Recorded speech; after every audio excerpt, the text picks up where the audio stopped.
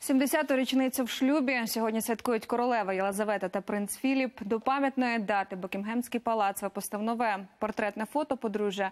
На ньому королева Єлизавета в білій сукні з коштовною шпилькою, яку чоловік подарував їй 50 років тому. Британські монархи повінчалися у Вестмінстерському аббатстві 20 листопада 47-го року. Вони одружені найдовше з королівської родини.